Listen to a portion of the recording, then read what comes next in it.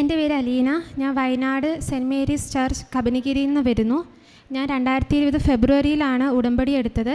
ഞാൻ ഉടമ്പടിയിൽ ഞാൻ വെച്ചിരുന്നത് ആദ്യം വെച്ചിരുന്നത് എന്റെ അമ്മ ഇറ്റലിയിൽ വർക്ക് ചെയ്യുവാണ്. അപ്പോൾ അവിടെ പത്ത് വർഷമായിട്ട് ഗവൺമെന്റ് വർക്ക് വിസ കൊടുക്കുന്നില്ലായിരുന്നു. അപ്പോൾ ഇവിടെ വന്ന് ഉടമ്പടി എടുത്തതിന്റെ ഭാഗമായിട്ട് അവർ മാർച്ചിൽ പത്ത് വർഷമായിട്ട് അവർ കൊടുക്കാതിരുന്ന ഗവൺമെന്റ് ഗവൺമെന്റ് വർക്കിംഗ് വിസ അവർ എന്താ കൊടുത്തു. ഇപ്പോൾ ലാസ്റ്റ് പ്രോസസ്സിലാണ് അമ്മയുള്ളത് ഈ ടെൻത്തിനാണ് അമ്മേന്റെ പേപ്പറിന്റെ ലാസ്റ്റ് വർക്ക് നടക്കുന്നത്. പിന്നെ എന്റെ അമ്മയ്ക്ക് മുപ്പത്തിമൂന്ന് വർഷമായിട്ട് ചെവിയിൽ നിന്ന് പഴുപ്പ് വരികയും ഭയങ്കരമായിട്ട് വേദനയൊക്കെ ആയിരുന്നു. അപ്പോൾ കുറേ മരുന്നൊക്കെ കഴിച്ചു. പക്ഷേ അതിൽ നിന്നും അമ്മയ്ക്ക് സൗഖ്യം കിട്ടിയില്ല. അപ്പം അങ്ങനെ ഇരിക്കെ ഇവിടെ ഉടമ്പടി എടുക്കുന്നതിന് മുന്നേ തന്നെ ഞാൻ ഇവിടുത്തെ യൂട്യൂബ് ചാനലിലാണ് ഞാൻ കണ്ടത്.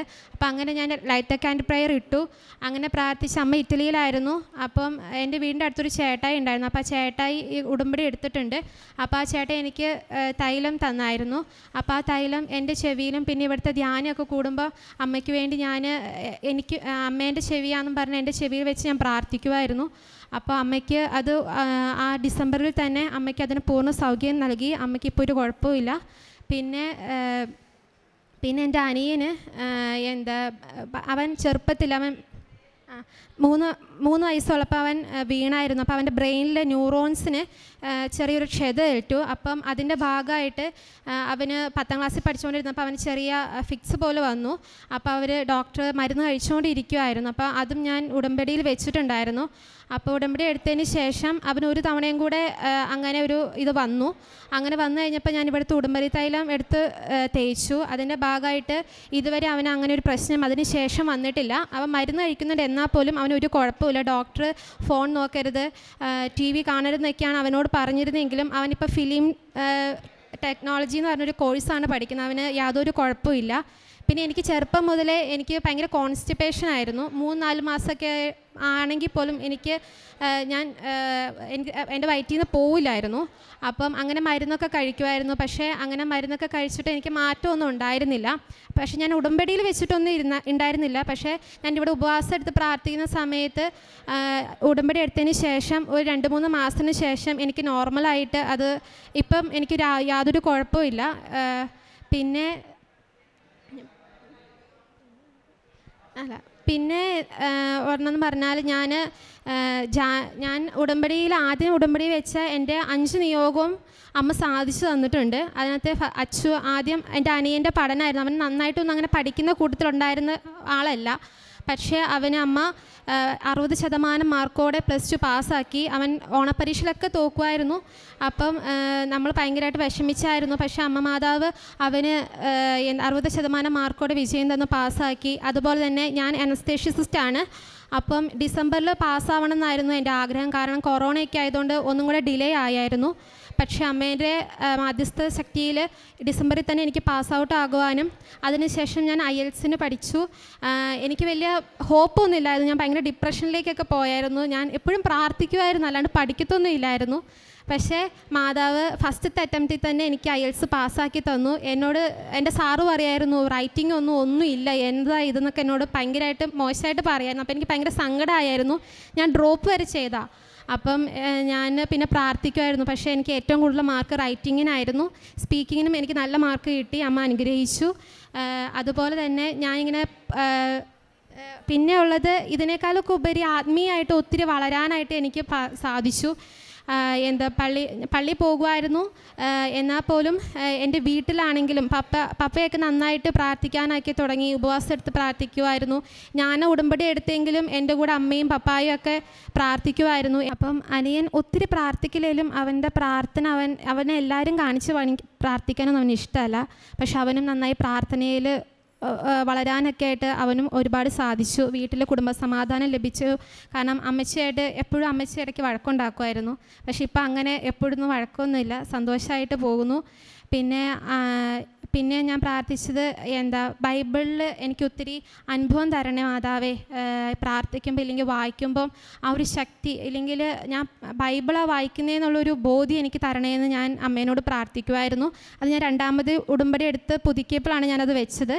അത് വെച്ചതിന് ശേഷം ഞാൻ എപ്പോൾ ബൈബിൾ എടുത്ത് വായിച്ചാലും ഇതിപ്പോൾ എനിക്ക് ഭയങ്കര സങ്കടമുള്ള സഹനങ്ങൾ വന്നിട്ടുണ്ട്. പക്ഷേ സഹനങ്ങൾ വരുമ്പോഴും ആ ബൈബിൾ തുറന്ന് ഞാൻ ആ അരമണിക്കൂർ പ്രാർത്ഥിക്കുമ്പോൾ അമ്മ അമ്മയും ഈശോയും എന്റെ കൂടെ തന്നെയുണ്ട്. എനിക്ക് ശക്തി തരുമെന്ന് തന്നിട്ടുണ്ട്. അപ്പോൾ ആ ഒരു അനുഭവം എനിക്ക് ഉണ്ടായിട്ടുണ്ട്.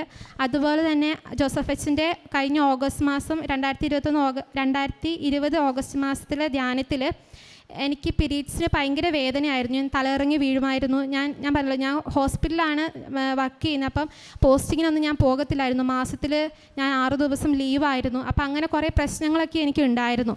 പക്ഷേ ഉടമ്പടി എടുത്തതിന് ശേഷം ഞാൻ അമ്മേനോട് പറഞ്ഞു ഇവിടുത്തെ കാരുണ്യ പ്രവർത്തനങ്ങൾ ചെയ്യണമല്ലോ അപ്പം ഞാൻ ഓരോ പേഷ്യൻസിനെ കാണുമ്പോഴും അമ്മയെ ഞാൻ അമ്മയ്ക്ക് വേണ്ടി ഞാൻ ഈ ഇവരെ ഞാൻ സൂക്ഷിക്കുകയാണ്. അത് എന്റെ ഒരു കാരുണ്യ പ്രവൃത്തിയായിട്ട് ഞാൻ ചെയ്യാമെന്ന് പറഞ്ഞതിന് ശേഷം അതിനുശേഷം എനിക്ക് അങ്ങനെ രോഗങ്ങൾ ഉണ്ടായിട്ടില്ല ഞാൻ ക്ലാസ് മിസ്സാക്കിയിട്ടില്ല അതുപോലെ തന്നെ ഞാൻ ഭയങ്കരമായിട്ട് വേദന എടുത്താണ് ഒരു ദിവസം ഞാൻ അച്ഛന്റെ ധ്യാനം കൂടിയത്. ഞാൻ മുട്ടുകുത്തിയാണ് ധ്യാനം കൂടിക്കൊണ്ട് ഇരുന്നിട്ടുള്ളത്. അപ്പോൾ ആ സമയത്ത് എനിക്ക് മുട്ടുകുത്താൻ പോലും പറ്റാതെ എനിക്ക് വേദനയായിരുന്നു. അതിന് അന്ന് അച്ഛൻ പ്രാർത്ഥിക്കാൻ പറഞ്ഞതിന് ശേഷം ഞാൻ വയറ്റി വെച്ച് ആദ്യമായിട്ട് എനിക്ക് വേണ്ടി ഞാൻ പ്രാർത്ഥിച്ചു. അമ്മ എനിക്ക് ഇത് സഹിക്കാൻ പറ്റുന്ന വേദന ആക്കി തന്നാൽ മതി. മൊത്തം കുറയ്ക്കണ്ട. കാരണം ഈ സഹനത്തിലൂടെ എനിക്ക് മറ്റുള്ളവർക്ക് വേണ്ടി പ്രാർത്ഥിക്കാൻ പറ്റുമല്ലോ. അപ്പം അങ്ങനെ ഞാൻ പ്രാർത്ഥിച്ചുള്ളൂ. പക്ഷേ അതിനുശേഷം അമ്മ എനിക്ക് പൂർണ സൗഖ്യം തന്നു. ഞാൻ പിന്നെ തലയിറങ്ങി വീഴാറില്ല. എല്ലാ മാസവും ഞാൻ പോസ്റ്റിങ്ങിന് പോകുമായിരുന്നു ആ, പോ- ആ, കാരണം ഓപ്പറേഷൻ തിയേറ്ററിലൊക്കെ ഞാൻ എന്നും തലയിറങ്ങി വീഴുമായിരുന്നു. അതൊക്കെ മാറി മാതാവ് എന്നെ അതിൽ നിന്നൊക്കെ ഒത്തിരി മാറ്റം വന്ന് ഉയർത്തി. അതുപോലെ തന്നെ എന്താ മാതാവിന്റെ ഒരു തവണ വീട്ടിലായിരുന്ന സമയത്ത് കോവിഡിന്റെ സമയത്ത് ലോക്ക്ഡൗണിന്റെ സമയത്താണ് മാ അതുപോലെ തന്നെ അച്ഛന്റെ ധ്യാനം കണ്ടുകൊണ്ടിരുന്നപ്പോൾ അത് ഞാൻ മുട്ടുകുത്തി കണ്ടുകൊണ്ടിരിക്കുമായിരുന്നു അപ്പം അമ്മയുടെ ഒരു സുഗന്ധാഭിഷേകം. കാരണം ഞാൻ പെർഫ്യൂം നന്നായിട്ട് ഉപയോഗിക്കുന്ന ആളാണ് അപ്പം പെർഫ്യൂമാണെന്ന് ഞാൻ ആദ്യം വിചാരിച്ചത്. പക്ഷേ ആ ആ ഒരു സുഗന്ധാഭിഷേകം ആ കുറച്ച് നേരം ഉണ്ടായിരുന്നുള്ളൂ. എന്നിട്ട് ഞാൻ അവിടെ ഇരുന്ന് എല്ലാ പെർഫ്യൂം എടുത്ത് നോക്കി. ഇതിന്റെ മണമാണോ? ഇതിന്റെ മണമാണോ എന്ന്. പക്ഷെ അല്ലായിരുന്നു. പിന്നെ എനിക്കത് കൺഫേം ചെയ്യണമെന്നുണ്ടായിരുന്നു. അപ്പം ഞങ്ങളുടെ പള്ളിയിൽ പ്രാർത്ഥിക്കുന്ന ഒരു സിസ്റ്റർ ഉണ്ടായിരുന്നു. അപ്പോൾ സിസ്റ്ററിനോട് പറഞ്ഞു സിസ്റ്റർ ഇങ്ങനെ ഒരു സംഭവം എനിക്ക് ഉണ്ടായി പക്ഷെ അത് സത്യമാണോ ഇല്ലയോ എന്ന് എനിക്കൊന്ന് ബോധ്യപ്പെടുത്തി തരണം. സിസ്റ്റർ ഒന്ന് പ്രാർത്ഥിക്കണം കേട്ടോ എന്ന് പറഞ്ഞു. അപ്പോൾ സിസ്റ്റർ പറഞ്ഞ അമ്മ മോളെ അത് മാതാവിന്റെ സുഗന്ധാഭിഷേകമാണ് നിനക്ക് കിട്ടിയത് വേറൊന്നും അല്ല എന്ന് പറഞ്ഞു. അപ്പോൾ അങ്ങനെ ഒരു ഭാഗ്യം എനിക്കുണ്ടായി. അതുപോലെ തന്നെ ജോസഫ് ഇവിടുത്തെ ചൊവ്വാഴ്ചത്തെ ഓരോ ധ്യാനവും കൂടുമ്പോഴും ഞാൻ ഓരോ നിയോഗം വെക്കും. പക്ഷേ അത് പിറ്റത്തെ ചൊവ്വാഴ്ച ആകുമ്പം അതൊക്കെ നടന്നിട്ടുണ്ടാകും. കാരണം എന്റെ ഒരു പൈസ ഇല്ലാത്ത സമയത്താണ് ഞാൻ പുറത്ത് പോകാൻ വേണ്ടി ഞാൻ പുറത്ത് യു കെ പഠിക്കാൻ വേണ്ടിയിട്ട് ഇരിക്കുമായിരുന്നു പക്ഷേ ഒരു രൂപ പോലും ഇല്ലായിരുന്നു. ആദ്യം ലോണൊന്നും കിട്ടിയില്ല. അപ്പോൾ ഞാൻ അമ്മേനോട് പറഞ്ഞു എല്ലാം ഞാൻ അമ്മയിൽ സമർപ്പിച്ചിട്ടാണ് ഓരോന്നും ചെയ്യാറുണ്ടായിരുന്നത് അപ്പോൾ അമ്മ അമ്മ എനിക്ക് തന്നതാണെങ്കിൽ ഇതെനിക്ക് തരണമേ എന്ന് പറഞ്ഞു. ഇപ്പം അമ്മ ഒരു രൂപ ഇല്ലാതിരുന്നിട്ട് എനിക്ക് ലോൺ പാസ്സാക്കി തന്നു. തരില്ല എന്ന് പറഞ്ഞ ആൾക്കാർ പലിശ ഒന്നും ഇല്ലാണ്ട് എനിക്ക് പൈസ തന്നു. അപ്പോൾ അതിന്റെ ലാസ്റ്റ് പ്രൊസീജിയർ അവർ റിജക്റ്റ് ചെയ്തു. എന്റെ ക്യാഷ് റിജക്റ്റ് ചെയ്തു എന്ന് പറഞ്ഞ് കഴിഞ്ഞ ദിവസം തന്നെ വിളിച്ചു. അപ്പോൾ ഞാൻ അമ്മേനോട് പറഞ്ഞായിരുന്നു അമ്മേ ഞാൻ ഒമ്പത് ദിവസം മുപ്പത്തിമൂന്ന് തവണ അമ്മയുടെ പ്രത്യക്ഷീകരണ പ്രാർത്ഥന മുട്ടയിൽ നിന്ന് ഞാൻ ചെല്ലിക്കോളാം കൈ വിരിച്ച് പിടിച്ച് ചെല്ലിക്കോളാം. അമ്മ കിട്ടുവാണെങ്കിൽ ഞാൻ അവിടെ വന്ന് ഇന്ന് സാക്ഷ്യം പറഞ്ഞോളാം എന്നാണ് ഞാൻ പറഞ്ഞത്. പക്ഷെ ഒമ്പത് ദിവസമായ അന്ന് തന്നെ അവർ പറഞ്ഞു അത് നടക്കത്തില്ല എന്ന് പറഞ്ഞു. പക്ഷേ അമ്മേനോട് ഞാൻ പറഞ്ഞ അമ്മ അപ്പം എനിക്ക് ഭയങ്കര സങ്കടമായി ഭയങ്കര കരച്ചിലായിരുന്നു. പക്ഷേ അപ്പം എനിക്ക് അമ്മ തന്നൊരു ധൈര്യം ഞാൻ രാത്രിയിൽ മൊത്തം കരഞ്ഞു. കാരണം എന്റെ അമ്മ അടുത്തില്ലാത്തതുകൊണ്ട് എനിക്ക് ആരെയും ഒന്ന് കെട്ടിപ്പിടിച്ച് കരയേണ്ടതെന്നൊന്നും അറിയില്ലായിരുന്നു. അപ്പം ഞാൻ ഭയങ്കരമായിട്ട് കരഞ്ഞപ്പം എന്നോട് ഇങ്ങനെ പറയുന്ന പോലെ തോന്നി. എന്താ എനിക്ക് പെട്ടെന്ന് ജോബിനെയും എന്താ ജോബിനെ ജോബിനെയാണോ വെളിപ്പെടുത്തി തന്നെ? നിന്റെ ദൈവം നിനക്കാണ് ഈ സഹനം തന്നെങ്കിൽ അത് നീ മറ്റുള്ളവർക്ക് വേണ്ടി സന്തോഷത്തോടെ സ്വീകരിക്കുക. നിനക്ക് തമ്പുരാൻ ഇതിലും വലുത് തരും എന്ന് എനിക്ക് ഒരു ഉള്ളിൽ ആരോ പറയുന്ന പോലെ തോന്നി. അതുപോലെ തന്നെ അമ്മയുടെ അമ്മ ഇങ്ങനെ പറയും അപ്പം ഞാൻ എന്റെ മനസ്സ് വിചാരിച്ചു ഇല്ല അമ്മേ ഈ സങ്കടം ഇനി ഞാൻ കരയില്ല. കാരണം എന്റെ അമ്മ ഇതെനിക്ക് തരാനുള്ളതാണെങ്കിൽ തന്നാൽ മതി. ഇനി അതല്ല മറ്റുള്ളവർക്ക് വേണ്ടി പ്രാർത്ഥിക്കാനാണ് ഈ സഹനം എനിക്ക് തന്നെങ്കിൽ ഞാൻ സന്തോഷത്തോടെ സ്വീകരിക്കുന്നു എന്ന് ഞാൻ അമ്മേനോട് പറഞ്ഞു. ഇന്ന് അവർ സി ഒ വിളിച്ചിട്ടുണ്ടായിരുന്നു. അവർ പറഞ്ഞു ഒന്നും കൂടി സംസാരിക്കാം. ഇന്ന് വൈകുന്നേരത്തിനുള്ളിൽ നമുക്ക് നോക്കാം. അവർ സംസാരിക്കാമെന്നാണ് പറഞ്ഞത്. അമ്മ എന്താണോ ഇതാക്കുന്നത് അത് നടക്കട്ടെ എന്ന് ഞാൻ പൂർണമായിട്ട് വിശ്വസിച്ച് പ്രാർത്ഥിക്കുന്നു. എല്ലാറ്റിലും ഉപരി എനിക്ക് ആത്മീയമായിട്ട് ഒത്തിരി ഉയരാൻ പറ്റി പ്രാർത്ഥിക്കാൻ പറ്റി.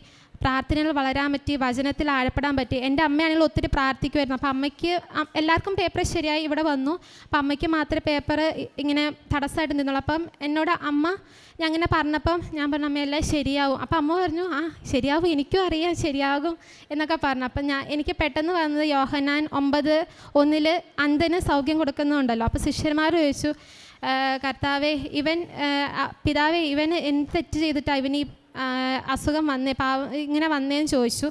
അപ്പോൾ കർത്താവ് പറഞ്ഞിട്ടുണ്ട് അത് അവന്റെ തെറ്റുകൾ കൊണ്ടല്ല. എന്റെ കാര്യം അവന് നിറവേറാൻ വേണ്ടിയിട്ടാണ് ഞാൻ അതവന് ചെയ്തതെന്ന് പറഞ്ഞു. ഇത് ഞാൻ അമ്മയ്ക്ക് പറഞ്ഞു കൊടുത്തു. അപ്പോൾ അമ്മയ്ക്ക് അതിൽ കുറച്ച് വിശ്വാസമുണ്ട്. അപ്പോൾ തമ്പുരാൻ എന്റെ ജീവിതത്തിൽ വചനത്തിലൂടെ ഇടപെടുന്നതിൽ വലിയ അനുഭവം തന്നതിലും അമ്മയ്ക്ക് ഈശോയ്ക്കും തിരുക്കുമാനും ഒരായിരം നന്ദി പറയുന്നു. കരങ്ങളടിച്ചുകൊണ്ട് നമുക്ക് ദൈവത്തെ മഹത്വപ്പെടുത്താം. വയനാട്ടിൽ നിന്നുള്ള അലീന തങ്കച്ചന്റെ സാക്ഷ്യമാണ് നമ്മൾ കേട്ടത്. മുപ്പത്തിമൂന്ന് വർഷമായിട്ട് ചെവിവേദനയും പഴുപ്പും. ഉടമ്പടി നേർച്ച വസ്തുക്കൾ ഉപയോഗിച്ചിരുന്ന അലീന? ഞാൻ- ഉപയോഗിച്ചേ. അമ്മയ്ക്ക് വേണ്ടിയിട്ട് ഉപയോഗിച്ചു ഉപയോഗിച്ചിരുന്നു? അമ്മയ്ക്ക് വേണ്ടിയിട്ട് സ്വന്തം ചെവിയിൽ ഉടമ്പടി നേർച്ച വസ്തുക്കൾ പൂശി പ്രാർത്ഥിച്ചു. വലിയ ദൈവാനുഭവമാണ് അലീന പങ്കുവച്ചിട്ടുള്ളത്. അത് മുപ്പത്തിമൂന്ന് വർഷമായതാണ്. അതെടുത്തു മാറ്റി. പിന്നെ ഇറ്റലിയിൽ പി ആർ അനുഭവിക്ക് ഡിക്ലെയർ ചെയ്യാതെ വന്നപ്പോൾ അതും നിയോഗത്തിൽ വെച്ച് പ്രാർത്ഥിച്ചു. ഉടമ്പടിയിൽ വെച്ച് പ്രാർത്ഥിച്ചു. അവിടെയും മാതാവ് ഇടപെടുകയാണ്. അതുപോലെ തന്നെ അനിയന്റെ അനിയന്റെ അസുഖം തുടങ്ങിയിട്ട് എത്ര നാളായതാ? അവൻ മൂന്ന് വയസ്സുള്ളപ്പോഴാണ് വീണേ. ഇപ്പം എത്ര വയസ്സുണ്ട്? പത്തൊമ്പത് വയസ്സ്. പത്തൊമ്പത് വയസ്സാണ്. എപ്പോഴാണ് സൗഖ്യപ്പെട്ടത്? ഇവിടെ ഉടമ്പടി എടുത്തതിന് ശേഷം അത് കഴിഞ്ഞിട്ട് ഒരു തവണ കൂടെ വന്നു. അങ്ങനെ ഉടമ്പടി തൈലം ഉപയോഗിച്ചു. എടുത്ത് ഏത് വർഷമായിരുന്നു? രണ്ടായിരത്തി ഇരുപത് ഫെബ്രുവരിയിൽ രണ്ടായിരത്തി ഇരുപതിൽ. അല്ലേ? ഫെബ്രുവരിയിൽ. ഇപ്പോൾ പത്തൊമ്പത് വയസ്സുണ്ട്. പതിനാറ് വർഷമായിട്ടുള്ളതാണ് അതും പരിശുദ്ധമ്മ സൗഖ്യപ്പെടുത്തി കൊടുക്കുകയാണ്. പിന്നെ ഓരോ കാര്യത്തിലും പിന്നെ അലിന പറഞ്ഞൊരു കാര്യം അതെല്ലാവരും ശ്രദ്ധിച്ച് മനസ്സിലാക്കേണ്ട കാര്യമാണ് ഓരോ ദിവ്യകാരുണ്യ ആരാധനയും ബഹുമാനോട് ജോസഫച്ചന്റെ കൂടി പ്രാർത്ഥിക്കുമ്പോൾ അലിന ഓരോ നിയോഗങ്ങൾ സമർപ്പിക്കുമായിരുന്നു. ഇത് നിങ്ങൾക്കും പ്രാർത്ഥനാപൂർവം ചെയ്യാം. എന്നിട്ട് അടുത്ത ആരാധന കൂടുന്ന സമയത്ത് ആ നിയോഗത്തിന്റെ മേൽ പരിശുദ്ധമ്മയുടെ മാധ്യശക്തി പ്രകടമായിട്ടുണ്ടെന്നാണ് പറയുന്നത്. അപ്പോൾ ഓരോ കാര്യത്തിനും അങ്ങനെയാണ്. പിന്നെ വചനത്തിലൂടെ ബോധ്യപ്പെടുത്തി. അമ്മ സുഗന്ധാഭിഷേകം വരുത്തി അമ്മയുടെ സാന്നിധ്യം അറിയിച്ചു. ഉടമ്പടി ചെയ്യുമ്പോൾ ആ വ്യക്തിയുടെ കൂടെ ദൈവമുണ്ട്. ദൈവം കൂടെ വരുന്ന സംവിധാനത്തിന്റെ പേരാണ് ഉടമ്പടി. അപ്പോൾ അങ്ങനെ ദൈവത്തിരുസന് സമർപ്പിച്ച് പ്രാർത്ഥിക്കുമ്പോൾ ദൈവം അത്ഭുതകരമായിട്ട് ഇടപെടും. ഇപ്പോൾ മുപ്പത്തിമൂന്ന് വർഷം പറഞ്ഞില്ലേ? കനായിലെ കല്യാണം വരുന്നില്ല വീഞ്ഞ് തികയാതെ വന്നപ്പോൾ പരിശുദ്ധിയമ്മ ഇടപെടുന്നുണ്ട്. ഇടപെടുമ്പോൾ സമയമായില്ലെന്ന് ഈശോ പറഞ്ഞു. ആകാത്ത സമയത്തെ ആക്കുന്ന പ്രാർത്ഥനയാണ് ഉടമ്പടി. എന്ത് കാലപ്പഴക്കം ചെന്ന രോഗമാണെങ്കിലും ദുരിതമാണെങ്കിലും നീ തിരിച്ചറിയുക നീ അമ്മയുടെ മാധ്യസ്ഥത്തിൽ ഉടമ്പടി ചെയ്താൽ ദൈവം നിന്നെ സുഖപ്പെടുത്തും. ഉടമ്പടി കുടുംബത്തെ മുഴുവനും സ്വാധീനിക്കുന്ന പ്രാർത്ഥനയാണ് വിശുദ്ധീകരിക്കുന്ന പ്രാർത്ഥനയാണ്. അല്ലെങ്കിൽ ഉടമ്പടി എടുത്തു. ദൈവദിരിസന സമർ പ്രാർത്ഥിക്കുമ്പോൾ എന്തെല്ലാം കാര്യങ്ങൾ കുടുംബത്തിലുണ്ടായോ ആരുടെയെല്ലാം കാര്യങ്ങളുണ്ടായോ എല്ലാവരുടെയും ജീവിതത്തിൽ ദൈവം ഇടപെട്ടു എന്നുള്ളതാണ്. അതാണ് ദൈവാനുഭവം നൽകുന്ന ഈ വലിയ സാക്ഷ്യം. പ്രാർത്ഥനയോടുകൂടി നമ്മുടെ നിയോഗം സമർപ്പിച്ച് പ്രാർത്ഥിക്കാം. Thank you Aleena. അത്യപൂർവ ദൈവാനുഭവങ്ങൾ ഇനി നിങ്ങൾക്കും സ്വന്തം. ചാനൽ ഇതുവരെ സബ്സ്ക്രൈബ് ചെയ്തിട്ടില്ലെങ്കിൽ ഇപ്പോൾ തന്നെ സബ്സ്ക്രൈബ് ചെയ്യുക. ഈ വീഡിയോ ഇപ്പോൾ തന്നെ നിങ്ങളുടെ സുഹൃത്തുക്കൾക്ക് ഷെയർ ചെയ്തുകൊണ്ട് കർത്താവിന്റെ പ്രേക്ഷിതരാകുക.